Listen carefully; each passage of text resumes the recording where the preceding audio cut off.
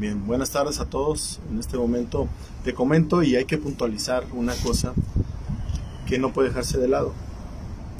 La, eh, la, mentencia que emite el Tribunal Estatal Electoral dice claramente, se revoca la resolución CNHJ-AX-275 de 2019, que es la que atañe este caso, pero le pide a la Comisión Nacional de Honestidad y Justicia que emita otra resolución. No está concediendo o favoreciendo o diciendo que Cuitlava Cardona Campos se le restituyen los derechos. Hay que aclararlo muy bien, ¿eh? porque luego empieza una confusión muy grande. ¿Qué le pide a la comisión? Eh, que determine las conductas eh, que se acreditan dentro del expediente, que determine si ha lugar a una sanción o, vía las infracciones que pudo haber cometido Cuitlava Cardona, que individualice eh, la, sanción. Es decir, no está diciendo en ningún momento que le reconoce los derechos a Cuitlava eh, Cardona Campos, ni que eh, lo sostiene como delegado en funciones del presidente. Hay que ser bien precisos. Y eso todo abogado lo sabe. Él le pide también a la Comisión Nacional de Honestidad y Justicia que en un plazo de 15 días le acredite esto que, que te estoy mencionando.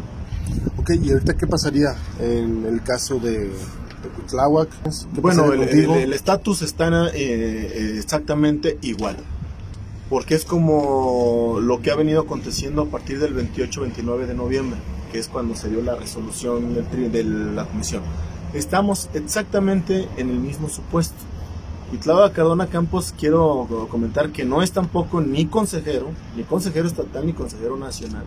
No es un dirigente emanado de un órgano debidamente electo en una asamblea de Morena, ni reconocido, ni este, electo por la, por la militancia. Ellos se quieren anclar, y lo digo a ellos porque es un grupito, incluyendo Cuitlava Cardona, en un acuerdo político que llega a partir de, enero, febrero, con el estatuto en donde dice podrán nombrar delegados, pero hasta el 20 de noviembre.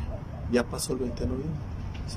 Lo que sigue las prórrogas que continúan son solamente para los órganos electos. Cuitlava Cardona nunca fue electo, eso hay que reconocerlo y hay que saberlo, debe de saberlo los simpatizantes, la militancia y la ciudadanía en general. Ok, pues David Alejandro de la Cruz ¿Tú tomarías posición pronto o todavía no?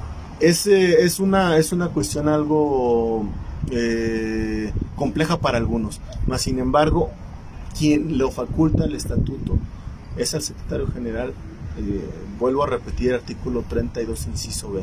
Ahora bien, viene, quiero mencionarte, Oscar, que viene también el Congreso Nacional, el día 26. Hay quienes denostan este Congreso señalando que no es facultad del Consejo ni de los, ni de los consejos estatales. Pues, y hay quien dice, algunos necios, que por analogía debe de ser el Comité Ejecutivo Nacional quien convocase a un Congreso Nacional. Eso es mentira.